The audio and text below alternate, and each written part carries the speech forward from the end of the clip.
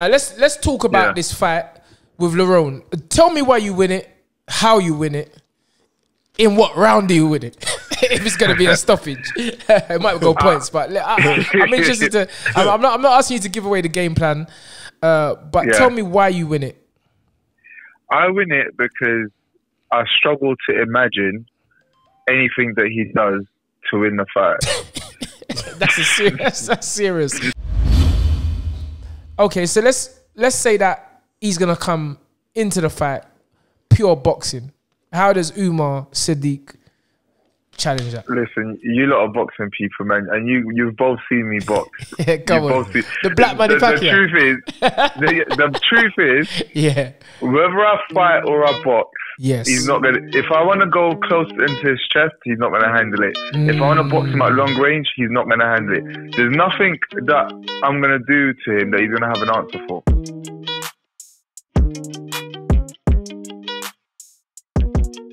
Yo, What are you saying?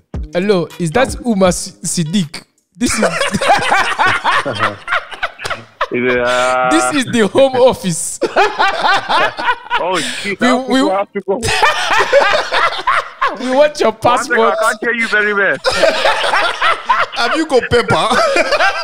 Come on, dream it, believe it, become it. We're back in the building. The, our first guest, the one, the only, the man they called Umar, coming like them. Remember um that, that that rap group, the the, the rap group with um I saw the guy name was Sadiq. Bro, bro, remember man, ah, with a, with a bleach hair, brother, the bleach hair, brother. Come on, man. Nah, man, that's Tony, Tony, Tony. No, man, you know, you know what I'm talking about, innit, Umar? And I swear his name was Sadiq. With bleach hair, fam. No, bro, I'm telling you. All right, I'm gonna remember the name. Don't worry. I'm gonna sleeping in my bed. Remember that tune there? Yeah, Cisco about Cisco, Sadiq. Yeah, take a look. train. How does Cisco sound like Sadiq? Cisco. wait, wait, wait, wait. Cisco, that's the one. That's I'm getting Cisco mixed up with Sadiq. You're taking the piss. Okay. All right, don't watch that. Anyway, Spencer, fire away. Yeah, man. Um, you got big fight coming up, brother. Come on. You've I got do when the date's set, yeah.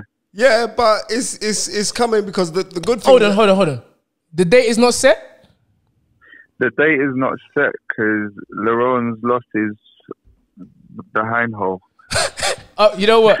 I don't. Wait, Spence. Now I have to talk the thing. Uh, we, you we- talk it, Spence. apparently, Lerrone, Lerrone was meant to be on the show, right, with you, and he just sent me a message. Um, no, no, we laughing for today. I ain't saying nothing. Right, he said no. He said something serious is something sad just happened. Five he minutes can't- before he was supposed to come yeah. on. Yeah, five minutes before he's meant to come on, he said that something just happened, so he can't he can't come on the show. But but Gary Blake, uh, man behind the cam, he said that it man don't want no smoke. Man don't want smoke, fam. What do you mean something happened? Yeah, he said something serious. No, I'm not even. You know what I mean, because it could be something. could be serious. something It could be serious still, so we shouldn't really So- judge. right, it shouldn't. Cool, so right, enough. but something serious. He said something serious has happened. but it's a coincidence. Though. Yeah, he's, yeah, because he said like you know Lerrone's he's very softly spoken, good guy, and he was like, Mm. um, yeah, oh, so is um is Sadiq gonna be on the show as well? I was like. I was like, yeah, of course. And then Tunde's in the back, like, yeah, of course. You come on the show. Come on the show now, now, right now, now, now. And he's like, oh yeah, all right. And then I just got five minutes ago. I just got a message in, and then I I, I sent a message out to Dave Cool, my my good buddy, but uh, he's watching movies with his kids, so it'd been good to get him. But I'll maybe get him because you're training with some by um, Tony Tony. Cesay now. Um, yeah. And um, uh, uh, is it- Lionel Lionel. Omar. Lionel, yeah, Lionel Lionel, Omar. Yeah. two good guys. Two good guys, and who I've known for uh, 30 odd years now. It's mad, isn't it? Yes. Right? So, yeah. So, I mean, it is what it By the way, is. that was a very good impression, you know. Come on. That was a very good impression. Yeah. But let's let's cool. let's talk about this fight here because it's exciting and uh, we need a date. And I, I, it's Mm-hmm. interesting that you say that you know there is no official date because I saw the poster, but I was thinking, hold on. Mm. So when is the date? You know, so show one, show two, show three, but when when is the actual date? So we were scheduled for show three okay, with a date to be confirmed. Mm. Now, I got called up at the start of July asking if I'd be ready on the 1st of August. I said, listen, I'm ready to go next week. But you don't know me, man. Um, you definitely know. Bruv. You see me all the time in the gym. Umar's the only man. come on, button. wait. come on, come on, But Come no, on. You see, Umar, he's the only man that at the weigh-in he looks like when he's tra- in training camp. You know, he, his, his face don't change. It's bro. You know, most man when they go on the weight scales, they look like skeletons. around. but Umar, he doesn't change, brother. It's madness. I'm like, bro, because you're um. Correct me if I'm wrong. You're a vegetarian or vegan? Is that correct? Yeah, plant based. Yeah. Plant-based boxer. Listen, So, uh, do you have pepper soup? yeah, yeah, pepper soup. Man can't eat them things. If- Why? If Why? some broccoli pepper soup or something, then maybe.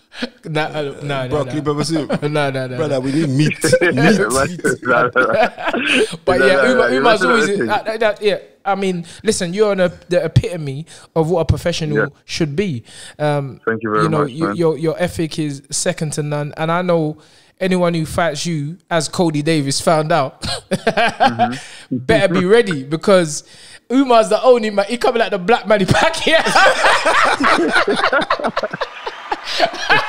bro.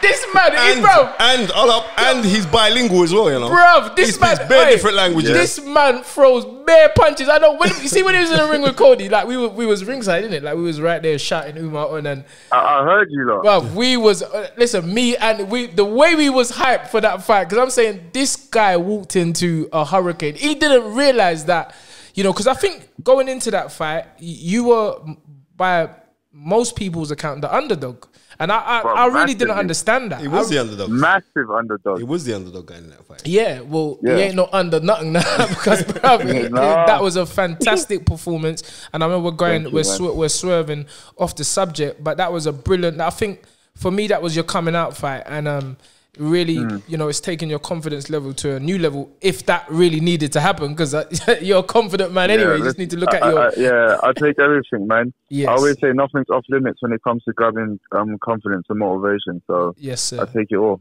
Yes, sir. So I want to say to you, bro, like, tell us a little bit about your background, like for the listeners of the show. Like, where did it all start for you? Good question. Uh, you mean boxing or life in general? No, boxing, because you you know you're a bit of a philosopher on certain things. We Yeah, man. You'll run out of time. busting You'll run out of time on iTunes, man. man, start busting Macbeth and all I was them going guys. to you about the simulation of the Matrix. yeah, yeah. One time I have, to, I have to say this, bro. One time the, it was I forgot what fight it was. I think it was at Wembley. Me and Umar. Trust me, I went downstairs. Umar. Oh, yeah, bro.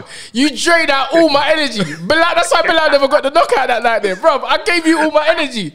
Umar had me chatting for hours, bro. All his his, his manager lawyer come.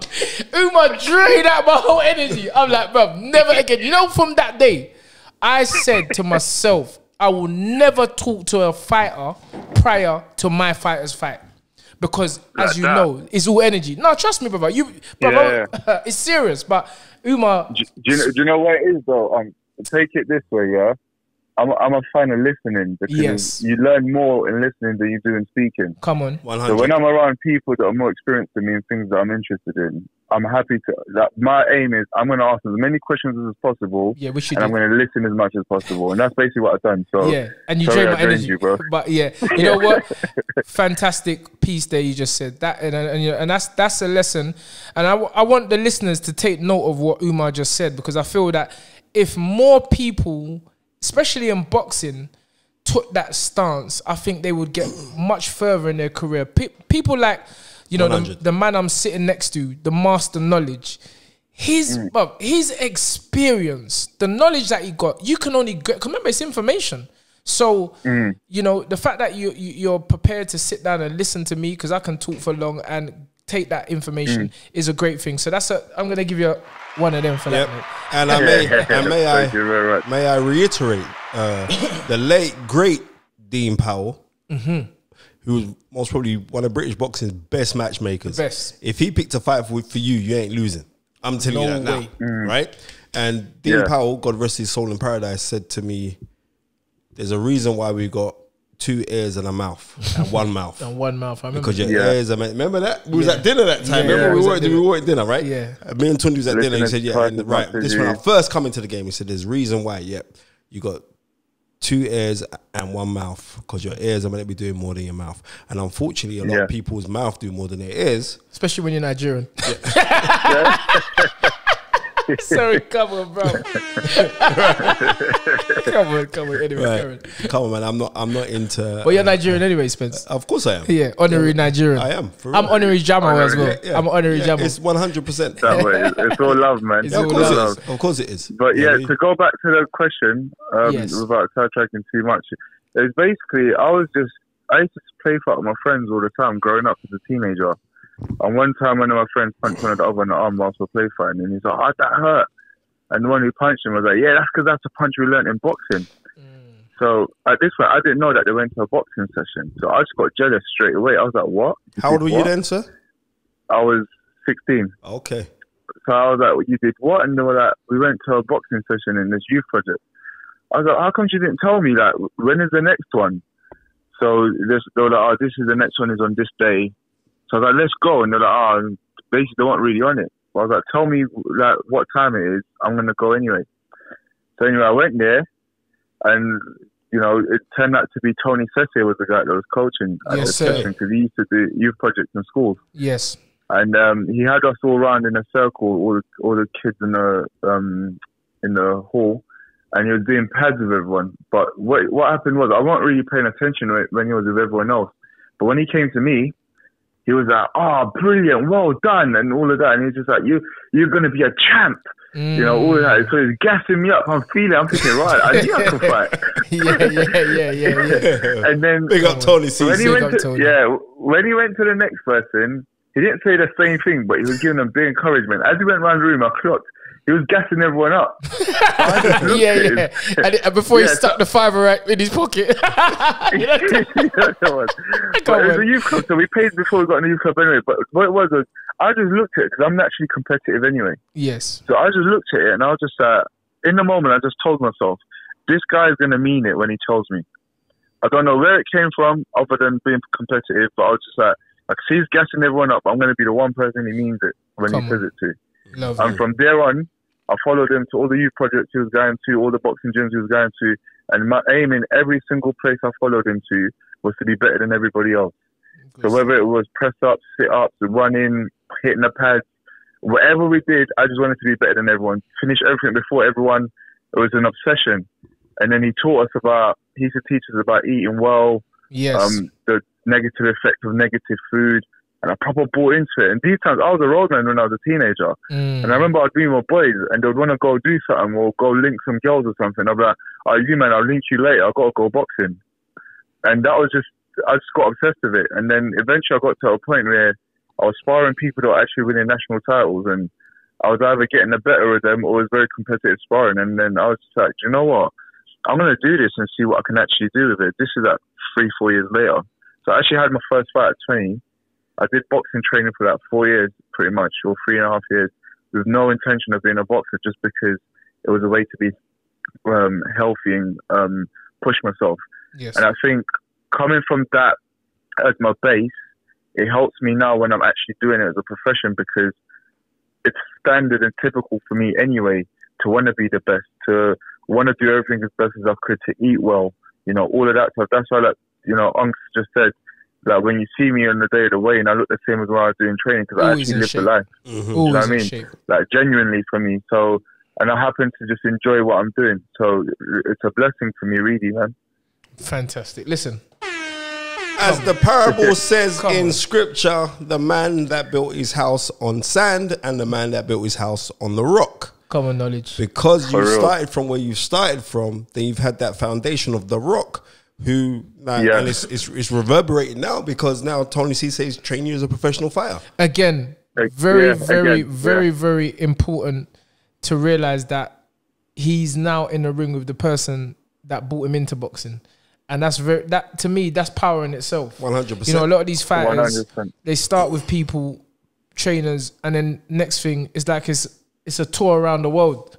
you understand what I'm yeah, saying? yeah. Don't, don't get me wrong. I've done my little tour and all of that, Yes. which I think Yes. is a good thing because now I know what I have. Exactly. There's no, there's exactly. no, oh, what is and what's going on over there. I know because I've done my tour around and eventually I was training with Lionel. Yes. And Lionel met once, one time in sessions, and he's mentioned, he was like, you know what? I think I might need an assistant. Yes. And straight away, I was just like, Tony's the guy. Yes. Let's go chat to Tony. Yes. And then you know, eventually, and then we went to chat to Tony. Tony was happy to come on board, and now I've got them as my joint trainers. yes, fantastic. You know, and it's yeah, it's brilliant. And I, I, said to um, um, Spencer before, you know, Tony Cesay, his life is boxing.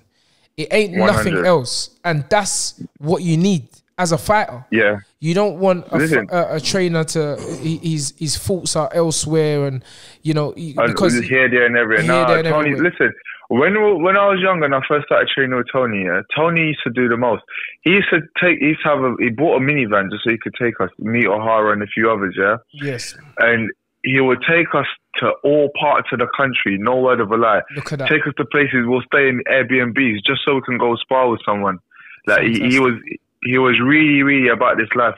And the thing is, even though he wasn't officially a coach of mine when I turned pro, Yes. I've always worked with Tony. Even when I boxed for Repton, yes, when I trained for Repton, when I boxed for Repton, I used to train with Tony at the TKO gym all the time. yes, sir. When I turned professional, even when I was um, training with um, my old coach, I wouldn't say his name, I was still working with Tony, and he knew it because I told him I was like, I know you're my coach, but I'm going to do sessions with Tony from time to time. Yes, So he's been involved in my career all the way through, and obviously now he's one of my main coaches. It's come full circle. Now let's let's talk about Yeah. this fight with Lerrone. Tell me why you win it, how you win it, in what round do you win it? if it's gonna be a stoppage, it might go points. But I, am interested to. I'm, I'm not. I'm not asking you to give away the game plan. Uh, but Yeah. tell me why you win it. I win it because I struggle to imagine anything that he does to win the fight. That's a serious. That's serious. Seriously, But but but Like, um, go on. it's genuine, it's genuine talk because uh, when I try to simulate the fight every which way, Yes. and every time I watch him, I because one of the places that I look at fighters and I look for the good things they do. Most fighters look for the weaknesses. I look for the good things, right? That's interesting. And then you know, you I work my way back from there. And when I look at the good things, a lot of times I think, okay, if I was this, if I was this fighter's coach and he had to box me, Mm. what would the game plan possibly be? And till today, I can't think of a game plan that Lerrone can put employ to beat me. Well, So I'm, that's from- what I'm gonna be. from- I mean, I'm playing a um, God's advocate here because we don't deal with no devils around here. But Nah, we don't do. No, we But- bun yeah, but but um, from what I understand and from what I hear, and uh, having seen Lerrone box a few times uh, when he was an amateur, that seems to be, uh, you know, the common denominator, which everyone seems to be saying that he's a pure boxer, and uh, his skills pay the bills. I don't know what bills might be the Yeah. might be the pizza. Hut well, well, well, it must be paying But- something because he's up in Sheffield now. Yeah, he's up in Sheffield. Yeah, and um, Yeah. apparently and he's in I- bed I right know- now. You know, he's in bed right now. I just want you to no, seriously. When we thought, he's, oh, I'm yeah, just said he's resting in, up. bed. He's in bed. So maybe he's in camp already. Yeah. Not, maybe he knows the date. They're not telling you. But but but okay. So so okay. So let's let's say that he's gonna come into the fight pure boxing. How does Umar Sadiq challenge that? Listen, you lot are boxing people, man, and you you've both seen me box. Yeah, come You've on. both seen- The Black Manny the, the truth is, the, the truth is, Yeah. whether I fight or I box, Yes. he's not gonna. If I want to go close into his chest, he's not gonna handle it. If I want to box him Mm. at long range, he's not gonna handle it. There's nothing that I'm gonna do to him that he's gonna have an answer for. Okay. So it's just a matter of me feeling out what he's got to offer on the night, and then I'll decide there and then. My best skill or my best asset is adaptability. I could do it whichever way. You watch several. I, I get any listener right now. Type in Umar Sadiq on boxing on YouTube and watch three of my fights and tell me if in any of the three I was in the same style. I love that. I love that. Um, I mean, I can only speak for the last fight. That's the fight I saw. Kody Davies. Have you fought after that? You have, No, no, no. Oh, That you haven't last fought one. after Kody No. Davies. And I think that the thing that shocked Kody is that in all facets you beat him. And not only that, the persistency The and work rate. Yes, he tried to bring it to you. Tried to come strong. It was a period where he tried to box, and just like you're saying, you're gonna do with uh, Lerrone, you match him in every department. And um, Every department. I would say, I would say, I mean, I don't know, you know, it's different. uh, That's why I never really give my hundred percent opinion on any fight I don't train. Um, I would feel, I would think that Kody's actually stronger than Lerrone, but I may be wrong because he may be Lerrone may be deceptively stronger. But Yeah, I but when Lerrone won the title, yes, he impressed me. I Okay, gonna okay, he I did. didn't He impressed me because he showed he, he went points. He showed a different facet. He showed that he can bite down on his gum shield. Okay, Right. okay. He, he showed me something.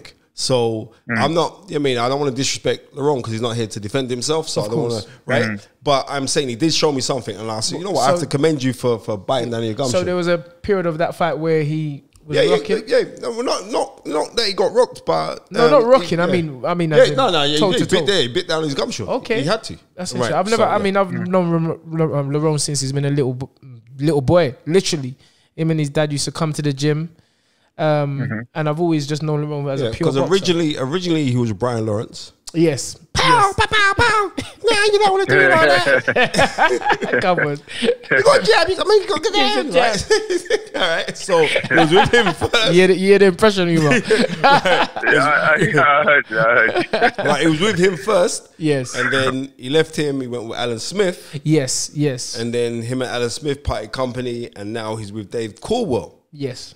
So Which I you, mean, all right, after Alan Smith, he went to Ismael Salas and Yeah. then Coldwell. Yeah, but, Oh, but they wow. were he- Okay. Yeah, that was he went on holiday. Remember, they went to all Yeah. of them went on holiday. So when they talk about Very he went, to, good. he, went, he went on holiday, bruv. He went on holiday and then he's he's back. But now he's working with Dave Coldwell. And you know what?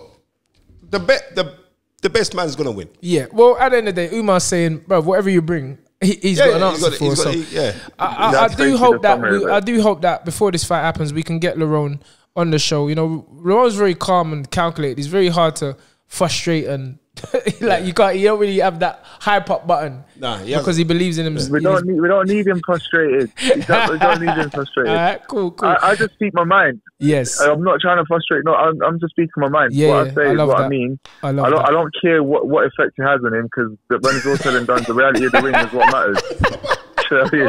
oh, wait, oh, wait, wait. That's what I'm trying to say. Bro, We need. I don't know, bro. We need. We need. it. We need the two of you on the line, like we had um Richards and um and uh, what's the Birmingham boy's name? My my guy. Oh, Shakan. Shakard, yeah, yeah. them two was fire on the on the Yeah, show. that was- that was Yeah, it. we- listen, don't waste your time, man. I've been, I've done a head to head with Lerrone. He, don't, he ain't got much to say, man. Yeah, he he's very- He he's tries to what he what he does. He tries to play it proper cool. Like he wants to seem like a cool collected guy. Like just shut up. Just, like, speak up, not shut up, but like speak up and speak your mind, bro. Come on, Uh, come you, on, you're just trying to act like a monk. Like we know you're not a monk, bro. Just come on. say what's on your mind. Yeah. All right, listen. Been fantastic talking to you. Good insight into how you got into boxing with Tony Cesay and and the rest of the crew. And uh, we're all looking forward to this fight. It's an exciting fight, and I feel that you know we've done our part. Mm-hmm. Uh, uh, um, hyping up this thing. Umar, if people want to follow you you, what, what would they get you on on your on your social handles? What is it? Top Boxer Sadiq on all my social media. I'm also on YouTube, Umar Sadiq Top Boxer. And just obviously, whenever the fight's announced, you'll find out through my socials and just make sure you tune in on the night. Because the way this guy's going on and postponing the date, and now I'm probably going to knock him out. So that's that. Come on. Okay, and we are one hundred percent going to hear and the new. British and Commonwealth. Okay, Bro, you sounded like Michael Buffer there. What's going on? Come on. Well done. Anyway, thank you again, Umar. Been fantastic having you. First guest Thank on you the for having me, fight man. It's been a pleasure. Is right. come on down. Yes.